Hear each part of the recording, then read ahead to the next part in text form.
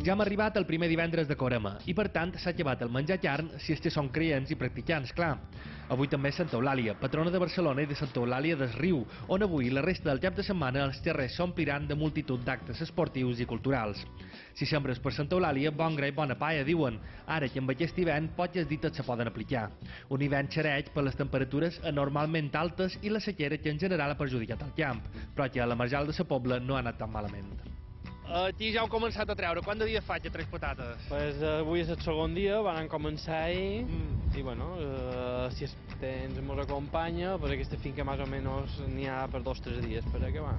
I és normal en aquesta època començar a treure patates? Quina diferència hi ha respecte als altres anys? Pues damunt dels altres anys n'hi ha unes tres setmanes de diferència. Nosaltres començàvem més o menys la darrera setmana de febrer, principis de març, però enguany amb el bon temps que ha fet, les temperatures elevades, pues mos hem adelantat aquestes setmanes. Enguany no, no ha hagut gelades, però d'altra banda tampoc ha plogut. No, ens va afectar, des del punt de vista les gelades són bones de defensar aquí a la Pobla perquè els agricultors són molt professionals, si no en les temperatures extremes molt baixes uh, se pot defensar bé, el problema que te pot tenir la patata avui en dia sobretot és el vent i és que el bruix i enguany ha estat perfecta la climatologia i per això s'ha avançat poc. La patata de sa Pobla representa més d'un 20% del total que se produeix a Espanya i s'exporta a països com Anglaterra, Alemanya, Polònia o República Txeca. El fet de poder-la coir tan prest beneficia als pagesos, ja que la poden vendre a més del triple del preu que tindrà la patata al final de la campanya.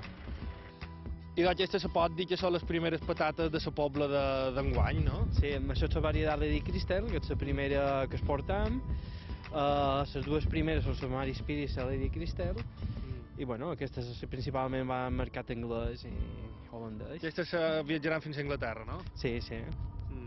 Eh, Vosaltres aquí a Pobla normalment feis dos esplets, no? Dues sembrades. Mm. Quina diferència hi ha? Pues una se sembra en el mes d'agost a setembre, que és patata d'estiu, que se va treure fins fa un mes, i l'altra sembra que se fa són els mesos d'octubre, novembre, desembre i gener, que és la patata d'exportació.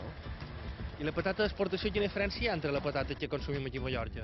Uh, la patata que sé que aquest mercat és una patata petita, una patata més pensada per bollir, i la gran diferència en, lo que és, en la pell que no estigui posada, perquè és uh, patata nova, que la pell se'n va, i es, en canvi el mercat, el que és local, el que es vol és una patata vella amb la pell posada i en, en calibres més grans. Com ha afectat eh, aquesta temperatura alta, a més d'avançar la collita, com ha afectat a la qualitat i a la quantitat? No, la qualitat de patata, normalment, si no hi ha cap de destre, no, la qualitat de patata sempre és bona, perquè els agricultors que nosaltres tenim són sempre molt professionals i se preocupen cada dia de mirar el seu estat i damunt la producció, pues, ara estem en el principi, les previsions són bones, però encara s'està jugant el partit i no sabem la producció final quina serà. Tenim que esperar el que els propers els propers dos mesos, si la climatologia continua co- acompanya com fins ara, pues la producció serà bona. Però si ara comença el mal temps i se comença a embrutar, pues, les previsions poden baixar.